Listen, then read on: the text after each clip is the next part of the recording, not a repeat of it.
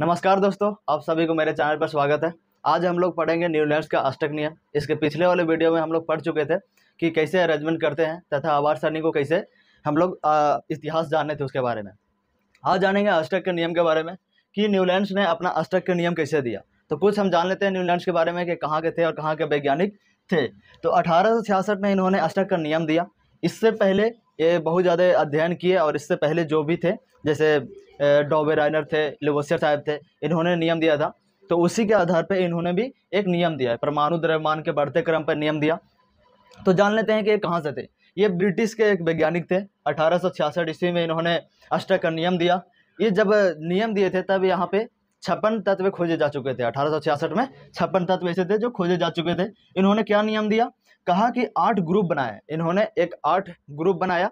इस तरह से, मैं आप आवार सरणी के बारे में जानते होंगे। तो ये वाला जो हॉरिजेंटल वाला लाइन होता है हॉरिजेंटल वाला को बोलते हैं आवर्त, और जो वर्टिकल लाइन होता है, उसको बोलते हैं ग्रुप आवार सरने में। तो जो वर्टिकल लाइन है, वो ग्रुप है तो ये इन्होंने ग्रुप जो बनाया था, वो आठ ग्रुप के बनाए थे। तो आठ ग्रुप बनाए, जिनमें प्रत्येक ग्रुप में सात एलिमेंट थे। जो भी ग्रुप था, ये ये जो भी ग्रुप था, वो ग्रुप में सात एलिमेंट थे, इन्होंने जो बनाया। सात सात एलिमेंट थे। सभी एलिमेंट्स के परमाणु द्रव्यमान बढ़ते क्रम में सजाए हुए थे। और परमाणु द्रव्यमान के अनुसार, जो परमाणु द्रव्यमान होता था, छप्पन एलिमेंट्स के, उसके बढ़ते क्रम के अनुसार उस ग्रुप में सजाए इन्होंने। इन्होंने जो सजाया था, वो संगीत का जो राग होता है, जो सारे गामा पध निशा ये संगीत का राग होता है। इंडियन म्यूज़िक या कोई भी वर्ल्ड का कोई भी म्यूज़िक हो तो शुरुआत यहीं से होता है। इसका राग पहले सीखा जाता है। तो इन्होंने राग के अनुसार इनको सजाए थे।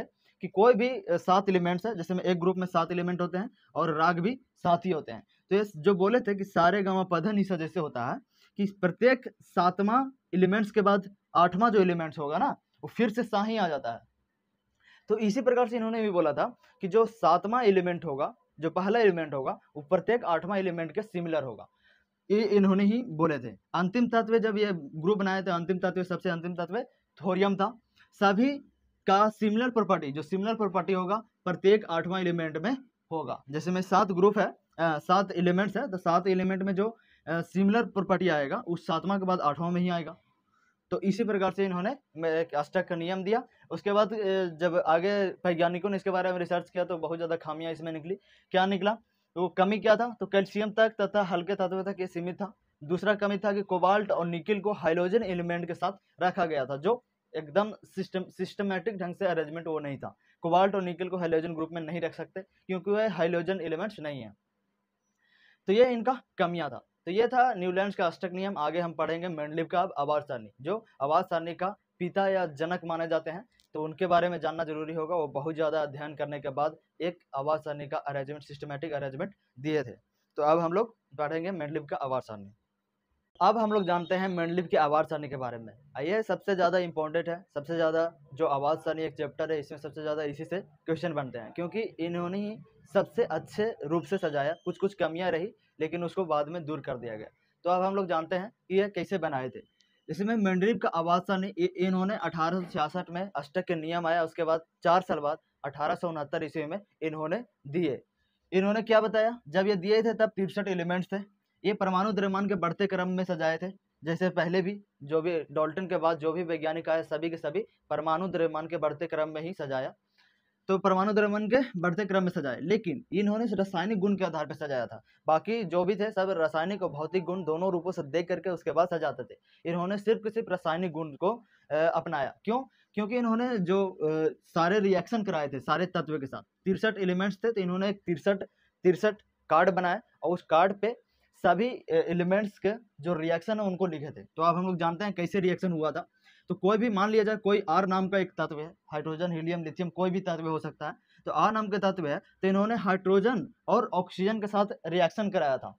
क्या होता है ना कि हाइड्रोजन और ऑक्सीजन ये दोनों बहुत ज़्यादा अभिक्रियाशील होते हैं। किसी के साथ भी ये रिएक्शन कर लेते हैं। तो इन्होंने सबसे पहली बार हाइड्रोजन और ऑक्सीजन को लिया और सभी के साथ, सभी तिरसठ एलिमेंट्स के साथ रिएक्शन कराए और उसके अनुसार जो भी गुण आते थे, उनको कार्ड पे लिखते थे। तो इन्होंने कोई भी आर तत्व होगा, जिसको हाइड्रोजन ऑक्सीजन के साथ इन्होंने अभिक्रिया कराया। हाइड्रोजन ऑक्सीजन क्यों? क्योंकि ये ज़्यादातर एलिमेंट्स के साथ केमिकल रिएक्शन करते हैं। इसलिए हाइड्रोजन और ऑक्सीजन को चुने थे। तिरसठ कार्ड बनाए तिरसठ कार्ड पे सभी के जो जो तत्व है ऑक्सीजन के साथ क्या रिएक्शन हुआ? और जो तत्व है वो हाइड्रोजन के साथ क्या रिएक्शन हुआ? उस कार्ड पे लिखते थे और उसका परमाणु द्रव्यमान को नापते थे और उसके अनुसार इनको सजाए। और ये किस तरह से सजाए? एक सारणी बनाए थे। तिरसठ ग्रुप जो होता है, एक सारणी बनाए। उस सारणी में आठ ग्रुप था और सात आवार था।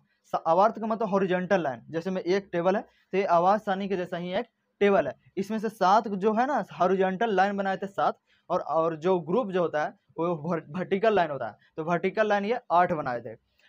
तो ये ये बहुत ज़्यादा क्वेश्चन फ़ेमस है कि आठ मेंडलिप के आवार सारणी में कितने ग्रुप होते हैं? तो आठ ग्रुप होते हैं। सभी ग्रुप का वैलेंसी समान होती थी।